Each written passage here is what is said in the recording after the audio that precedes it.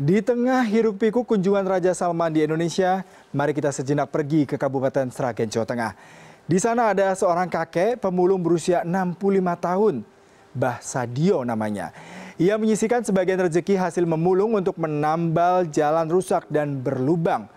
Mbah Sadio pun tak segan turun sendiri untuk menambal jalan yang berlubang. Sadio Ciptowiono, seorang kakek asal desa Gondang, Kabupaten Seragen, Jawa Tengah, sehari-harinya bekerja sebagai pemulung.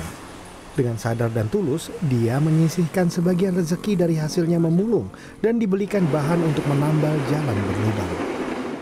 Mbah Sadio, seorang diri menambal jalan rusak dan berlubang di ruas jalan sekitar desa Gondang, Seragen. Setiap hari, di sela-sela pekerjaannya memulung sampah plastik di pinggir jalan, Mbah Sadio meluangkan waktunya untuk menambal jalan yang rusak.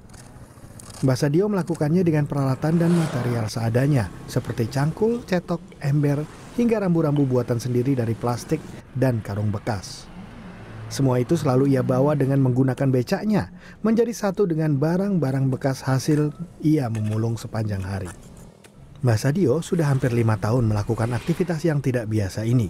Saat itu ia menambal jalan berlubang di ruas jalan desa Gondang Banaran sejauh kurang lebih 5 km.